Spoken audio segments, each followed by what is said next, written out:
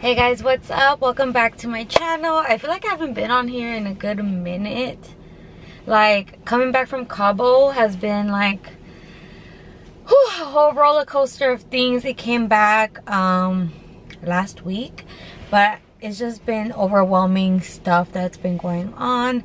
My trip was so good. Um, it was really fun.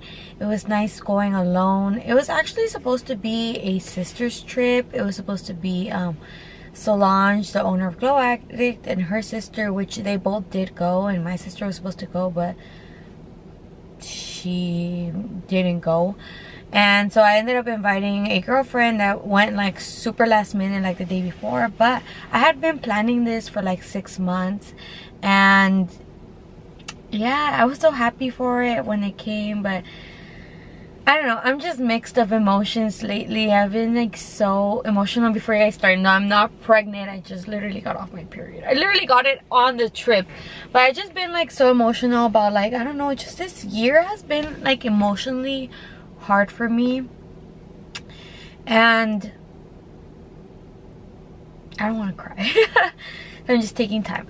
I don't know, I'm just like all over the place with emotions and something really like tragic just happened over the weekend, this past weekend. Um, one of our family members um, unfortunately um, passed away.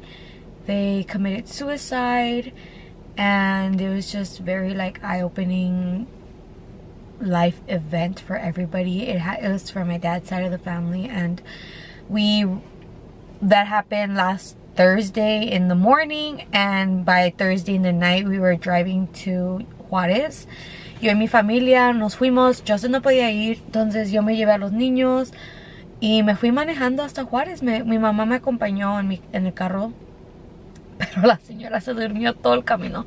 Manejé todo lo que pude because we literally left like at 11 in the night. I drove until like 3 in the morning hasta que ya no pude. Llegué a un rest stop. Me dormí como dos horas. Después me levanté, manejé otras dos horas y le dije a mi mamá, ya no puedo. I have to sleep a little bit more to manejar. So then my mom drove like a few more hours and then we switched off llegando como a las cruces in New Mexico and then I drove the rest to Mexico so we got to Mexico like 4 p.m. the next day and yeah it was just like I we just wanted to be there to support our family um and it was just like a hard situation like the whole thing. Is just very emotional and so yeah it's just been hard. And i just got back last night monday. So we were there friday saturday sunday monday. We started driving back sunday but um, the in Mexico les entregan el cuerpo bien rápido, so we did the whole velorio and everything. They were gonna cremate him, so there wasn't an, an actual funeral. But they did do like a, a viewing and all that stuff, and we were able to go. Uh, aquí tengo un agua. I'm gonna put this Taste Salud um, little package, just a hydration and immunity into my water, but yeah it's just it's just been crazy so i hadn't seen joseph i was in Cabo for four days and i came back and saw him for one day and then i i literally left the next day so i haven't really been able to see joseph and that's also been kind of hard on like our marriage in a way because we haven't been able to spend like alone time either. So i feel like i'm just emotional in like all aspects of my life right now. Like um obviously the Cabo thing was planned and like i was for it so i left my house like clean and ready to go. But coming back from that like i had all my clothes like dirty and um the house was already a mess from joseph watching the kids while i was in Cabo. And then i was trying to like get my life back on track starting to work out one day and like cook. And the next day you know like life life is just a crazy curveball sometimes. Like you don't know what's gonna happen what's gonna throw at you. I don't really know the point of me making this video, but I just wanted to come on here y pues platicar con ustedes un poco. Pues no, I haven't been feeling like myself lately. I've been trying. In Mexico, it's just like a mess, you know, with everything going on, and obviously it's understandable. But even before that, I've just been feeling like some type of way. I'm just having my girl dinner, my girl lunch. I felt like when the kids started school in September, I was I was on it. Yo estaba yendo al gimnasio. I was working out three to four times a week. I was cooking. I was cleaning. I was on top of my videos.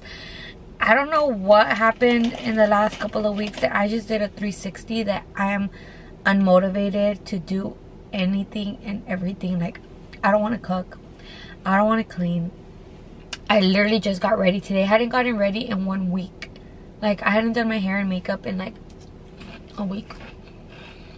I put on lashes because I was like, no, girl, you gotta get it together. What are you doing? Like, I am here actually, I'm proud to say that I'm finally getting help. I finally um, contacted a psychologist so I can get therapy started because I just need to work through my emotions and everything I'm feeling with someone that that doesn't know me and can give me advice without being biased because obviously I can talk to my husband or I can talk to my mom but they'll give me like oh you know it's not a big deal like blah blah blah. But I'm like it's a big deal to me and my feelings or whatever oh aspect of my life. I'm reaching out and getting help.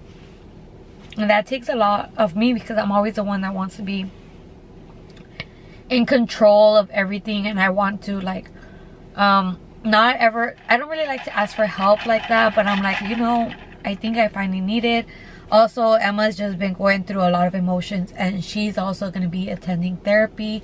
Um, she already started actually, so that kind of like made me realize like, you know, if I'm, I'm getting help for my daughter, then I should probably get therapy too. Like, it'll be good for me just to have someone to talk to. Therapy should never be seen as a negative thing or as a bad thing. And that's what I'm trying to teach my daughter. And if I'm trying to teach her that and I should also like take it into consideration for myself. That's why I finally reached out and and, and I, I found someone and I'm actually excited, looking forward to it. I know it's gonna be kind of like hard because they kind of like gonna like get at the root of everything and I'm like I don't know if I'm ready you know like some things I like to brush under the rug and just like go on with my day but I feel like slowly and slowly everything's just been accumulating and I'm like exploding hard for me. I don't know how many times this year I came on here and like cried, telling you guys how I feel, but but I don't know if you guys noticed. Last year I didn't post any videos. I didn't have time to edit. My head was just like somewhere else. No podía enfocarme en nada. Plus everything that went on like with my dad's side of the family. I was just like, it wasn't in my head to like film or post or edit or do nothing, do TikToks, Reels, nothing, nothing. Like sometimes we just need that little break to like regroup ourselves and be like, okay, what are we gonna do? Because sometimes I'm super motivated. I had such exciting things coming for Amores Cafe and I was coming up with ideas and I was so motivated and I was doing this and that and y ahorita no quiero hacer nada but I was like no I have to because I already ordered everything first of all and then second of all I can't just let it take a toll on me. I need to like keep going. A ponerte las pilas, mija, y a chingarle porque la vida es corta. Um, I don't know. I just want to talk to you guys. That's why I'm here. I feel like estaba desconectada con ustedes, no había platicado con ustedes. I just been making vlogs, pero no platicado así, like a sit down video. And like for me not to cook in a long time, it has been like a shocker too because I, I, I enjoy cooking and I have I've just been making like chicken and rice and vegetables like almost every day and I'm like not inspired to make like yummy food but I think tomorrow I'm gonna make something yummy. A ver qué hago pero this is part two of my girl dinner. Son unos escuincles rellenos. Los agarré en México.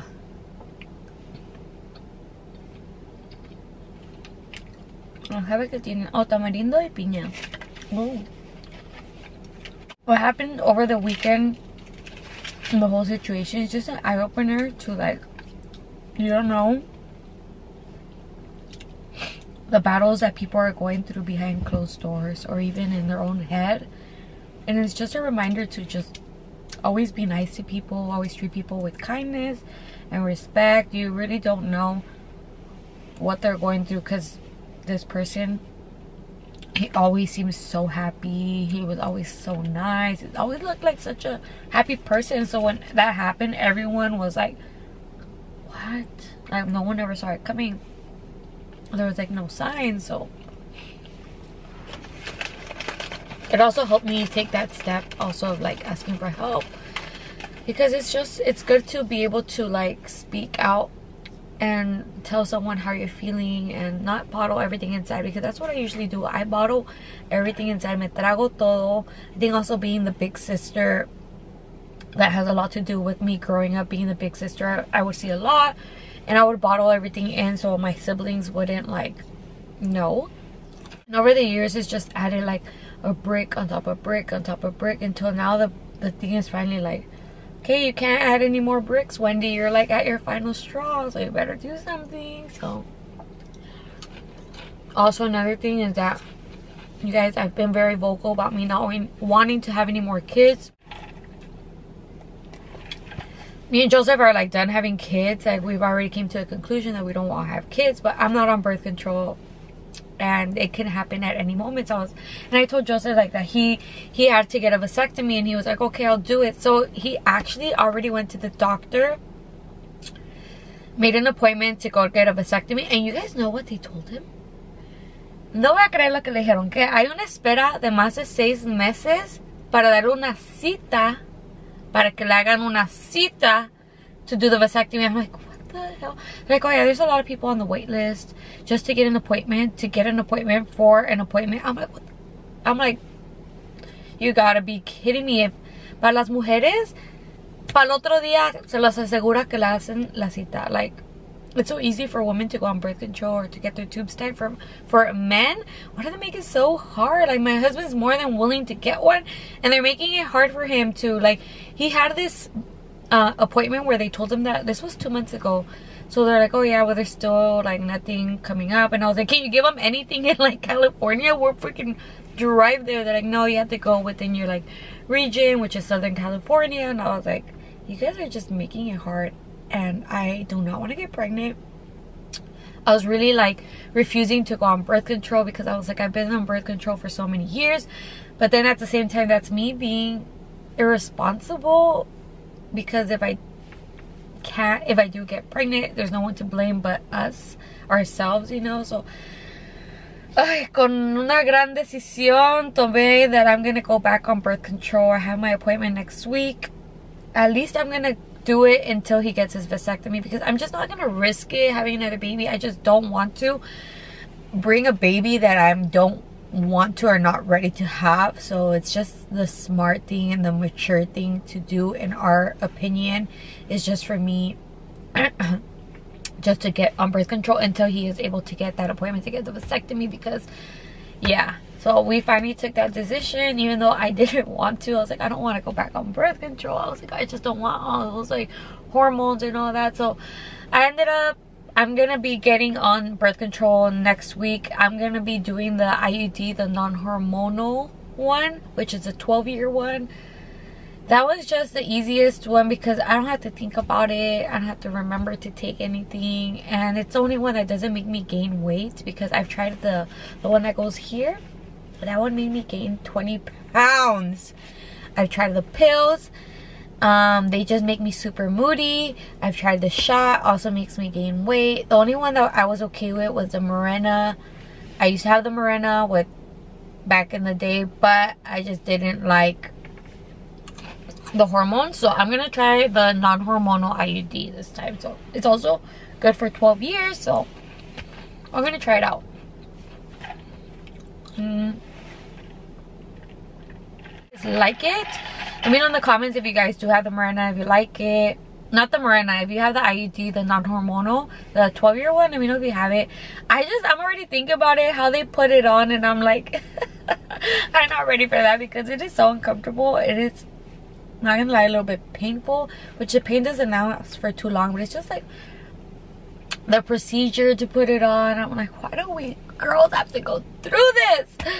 My husband was more than willing to, but no. Y pues, I'm gonna try to get back on things, guys. Un día a la vez, como se dice. Todo es un día a la vez. Just staying positive, you know. Because I get overwhelmed with a lot of stuff because I have to cook, I have to clean, I have the kids. and I know my husband does a lot too because he he's a provider and he works but I'm also a provider too because I'm also working but I'm also having the kids I have to cook I have to clean and I have the work overload with my manager trying to get me to do deadlines and it just becomes a lot sometimes where I feel like it's a lot you know? And Cabo was a little bit of a refresher but I was also on work mode when I was in Cabo. I was creating a lot of content and I was posting and I was doing stuff where my mind would, couldn't just relax you know? But it was nice little getaway and I told Joseph I want to go somewhere like I feel like I need like a cabin trip or I need like like a small town vibes trip like just like for two days. I just want to go and I want to disconnect. I want to just sit by the lake or like in a cabin and do nothing. Because the last couple of vacations have been awesome that we've been doing but we did New York and we did um uh Cancun and we did um the cruise and all those things that you guys saw but they're all very like let's go do stuff let's party let's drink let's um you know go sightsee and they're not very relaxing. They are great experiences but not relaxing. If anything you come back more tired but i feel like i need a trip where i do nothing but just like lay in bed read a book take a bath and not worry about creating content type of thing. Not worrying about like going out or getting ready like just chilling mode like I need like a camping trip or algo bien relaxed. Uh, I want to do something like that. Siento que necesito como un super super relaxing mini vacay. Maybe just me by myself or me and Joseph, but I don't know. Let me know what you guys recommend. But aquí le voy a dejar este videito hablen conmigo en los comentarios, hay que platicar, cuéntenme de sus vidas, de cómo les va. Quiero saber, quiero platicar con ustedes y pues ya saben que aquí estoy. You guys could talk to me on Instagram or TikTok or DMs. I'm pretty good at answering messages. So yeah, just letting you guys know. Don't forget to like this video and be subscribed to our channel because we're going to get back in it, girl. I just needed a little break.